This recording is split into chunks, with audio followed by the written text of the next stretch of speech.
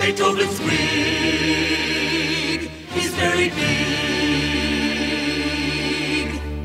Beethoven's wig is long and curly and it's white. Beethoven takes his wig off when he sleeps at night. Because it's big, Beethoven's wig. it's very big. It's very big. Beethoven's wig is big. It's really big.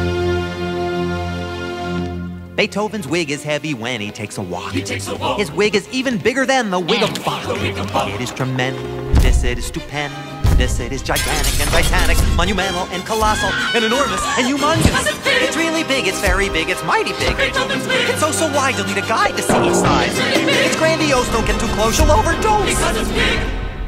Big. Beethoven's wig is big. It's stylish and it's handsome. It costs a small king's ransom. 500 bucks and then some. But the hair's so long and flowing that that wig seems like it's growing. And it keeps his face from showing. Poor Beethoven's wig needs mowing. Beethoven's wig is very big, it's oh so big, it's filled with goo, it's such a problem to shampoo. Really very, very. Beethoven's wig is very big, awful big, it's such a mess, it even has its own address. It's such a mop, he should stop at the barber shop. His mother called, she said he would look better bald. It's very big, Beethoven's wig